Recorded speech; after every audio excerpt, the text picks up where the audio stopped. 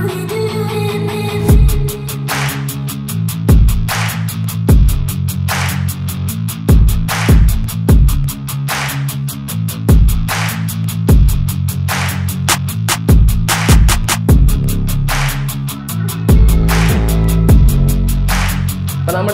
C T V ക്യാമറയുടെ ഇൻസ്റ്റലേഷന്റെ ഒരു പ്രത്യേകത നോക്കുകയാണെങ്കിൽ നമ്മുടെ കേരളത്തിലെ കസ്റ്റമേഴ്സ് പൊതുവെ വീടിന് ചുറ്റും ക്യാമറ വെക്കാൻ വേണ്ടി താല്പര്യം കാണിക്കുന്നവരുമുണ്ട്. അല്ലെങ്കിൽ ഒന്നോ രണ്ടോ ക്യാമറകൾ മാത്രം വീടിന്റെ ഫ്രണ്ടിലും ബാക്കിലും മാത്രം വെച്ചുകൊണ്ട് ഇൻസ്റ്റലേഷൻ പൂർത്തിയാക്കാൻ വേണ്ടി താല്പര്യം കാണിക്കാറുമുണ്ട്. ഈ രണ്ടാളുകളും നമ്മളോട് ചോദിക്കാറുള്ള ഒരു കാര്യം എന്ന് വെച്ച് കഴിഞ്ഞാൽ വീടിന്റെ ഫ്രണ്ടിലും ബാക്കിലൊക്കെ വെക്കാൻ പറ്റിയ കറങ്ങുന്ന മോഡൽ എന്തെങ്കിലും ക്യാമറ ഉണ്ടോ എന്ന് ചോദിക്കും. അപ്പോൾ ആ ഒരു ചോദ്യം കസ്റ്റമർ ചോദിക്കുമ്പോൾ ഞങ്ങൾ പൊതുവേ ചെയ്യാറുള്ളതെന്ന് വെച്ചാൽ ഇസ്വിസ് ക്യാമറകൾ സി എച്ച് സി പോലെയുള്ള ക്യാമറകളൊക്കെ നമ്മൾ എടുത്തിട്ട് ഈ ഒരു ഹിക്യൂഷന്റെ ഡി വി ആറും എൻ വി ആറും ആയിട്ടൊക്കെ കണക്ട് ചെയ്തുകൊണ്ട് ചെയ്തു കൊടുക്കാറുണ്ട്. അപ്പോൾ ആ ഒരു വിടവ് നികത്തുന്ന രീതിയിൽ ഹിക്യൂഷൻ നമുക്ക് വേണ്ടിയിട്ട് ഒരു പുതിയ ക്യാമറ ഇന്ത്യയിൽ ലോഞ്ച് ചെയ്തിരിക്കുകയാണ് അപ്പോൾ ആ ഒരു ക്യാമറയുടെ വിശേഷങ്ങളാണ് നമ്മൾ ഇന്ന് നോക്കാൻ വേണ്ടി പോകുന്നത്. അപ്പോൾ എല്ലാവർക്കും നെക്സ സിസ്റ്റത്തിന്റെ പുതിയൊരു വീഡിയോയിലേക്ക് ഒരിക്കൽ കൂടി സ്വാഗതം.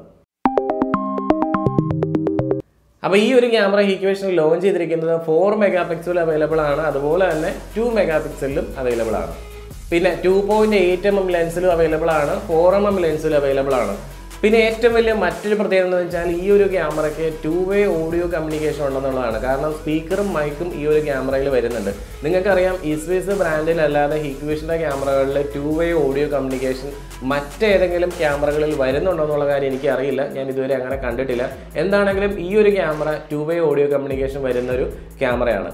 അതുമാത്രമല്ല I P sixty six weather പ്രൂഫാണ് ഈ ഒരു ക്യാമറ. അതുകൊണ്ട് തന്നെ നമുക്ക് ഡസ്റ്റോ വാട്ടറോ ഒന്നും അത്രത്തോളം ഈ ഒരു ക്യാമറയെ എഫക്റ്റ് ചെയ്യില്ല.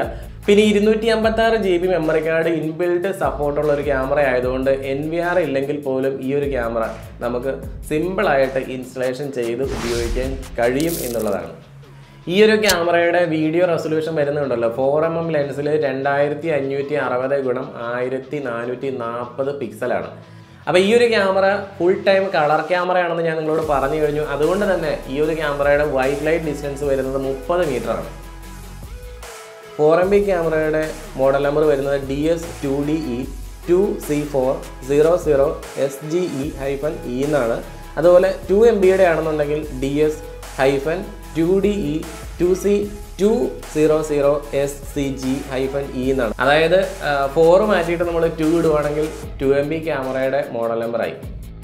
ഇപ്പം ഈ ഒരു ക്യാമറ നിങ്ങൾ പരിചയപ്പെടുമ്പോൾ ഒരിക്കലും അതൊരു പി ടി ഇസഡ് ക്യാമറയാണെന്ന് വിചാരിക്കരുത്. കാരണം പി ടി ഇസഡ് എന്ന് പറഞ്ഞു കഴിഞ്ഞാൽ സൂമിംഗ് ഉള്ള ക്യാമറ എന്നാണ്. സൂമിംഗ് ഉള്ളതെന്ന് പറഞ്ഞാൽ ഒപ്റ്റിക്കൽ സൂമിംഗ് ഉള്ള ക്യാമറ.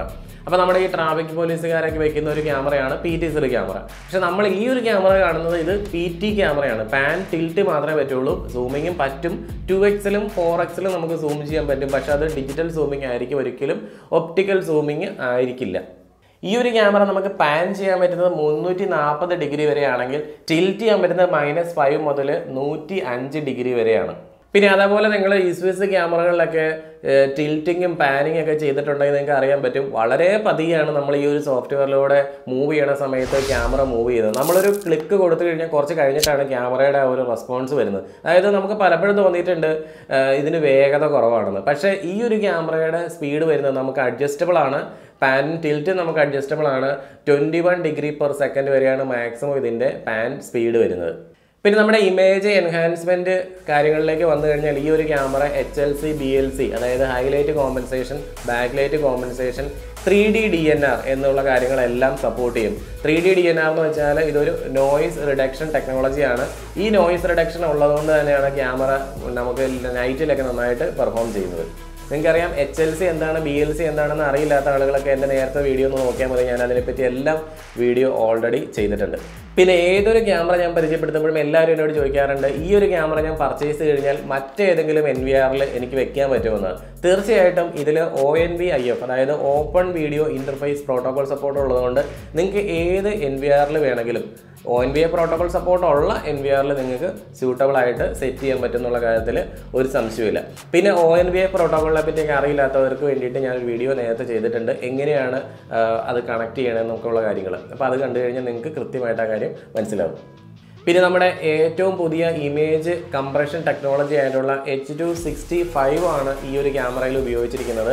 നിങ്ങൾക്കറിയാം എച്ച് ടു സിക്സ്റ്റി ഫോർ ഉപയോഗിക്കുന്ന സൈസിന്റെ നേരെ പകുതി മതി സ്റ്റോറേജ് സ്പേസിന് വേണ്ടിയിട്ട് H two sixty five image compression ഉപയോഗിക്കുന്ന ഈ ഒരു ക്യാമറയ്ക്ക് അപ്പോൾ ഈ ഒരു ക്യാമറ ഇക്വേഷൻ ഇന്ത്യയിൽ ലോഞ്ച് ചെയ്തിട്ടേ ഉള്ളൂ. നമ്മുടെ കയ്യിലേക്ക് ഈ ഒരു ക്യാമറ കിട്ടിയിട്ടില്ല. അതുകൊണ്ട് തന്നെ എക്സാക്റ്റ് പ്രൈസ് എനിക്ക് നിങ്ങളോട് ഷെയർ ചെയ്യാൻ പറ്റില്ല. പക്ഷേ എന്നാലും ഏകദേശം പ്രൈസ് എന്ന് പറയുന്നത് ഒരു ഫോർ എം ബി ക്യാമറയ്ക്ക് eight thousand five hundred plus G S T വരാം. അതുപോലെ തന്നെ ടു മെഗാ പിക്സൽ ക്യാമറയ്ക്ക് ഒരു ആറായിരത്തി അഞ്ഞൂറും ടാക്സും വരാം എന്നാണ് ഇപ്പോൾ അറിയാൻ കഴിഞ്ഞിട്ടുള്ളത്. ഇതിന്റെ പ്രൈസും കാര്യങ്ങളൊക്കെ കൂടുതലായിട്ട് നിങ്ങൾക്ക് അറിയണം. അതിന്റെ ഡീറ്റെയിൽസ് ഒക്കെ കൂടുതൽ അറിയണമെന്നുണ്ടെങ്കിൽ ഞാൻ താഴെ കൊടുത്തിട്ട് ആ നമ്പറിലേക്ക് വാട്സപ്പ് അയച്ചാൽ മതി. നിങ്ങൾക്ക് ആർക്കെങ്കിലും പ്രീ ചെയ്യണമെന്നുണ്ടെങ്കിലും ഈ നമ്പറിലേക്ക് നിങ്ങൾ വാട്സപ്പ് അയച്ചാൽ മതി. കേരളത്തിൽ എവിടെയും നമുക്ക് കൊറിയർ ചെയ്ത് തരാനുള്ള ഒരു സജ്ജീകരണം ഞാൻ ചെയ്തിട്ടുണ്ട്. അപ്പോൾ നിങ്ങൾക്ക് എല്ലാവർക്കും ഈ ഒരു വീഡിയോ ഉപകാരപ്പെട്ടെന്ന് വിചാരിക്കുന്നു. പുതിയ വീഡിയോസിന് വേണ്ടിയിട്ട് ഈ ഒരു ചാനൽ സബ്സ്ക്രൈബ് ചെയ്യുക. അതുപോലെ തന്നെ ഈ വീഡിയോ ഇഷ്ടപ്പെട്ട് കഴിഞ്ഞാൽ ലൈക്ക് ചെയ്യാനും നിങ്ങൾ മറക്കരുത്. ഓക്കെ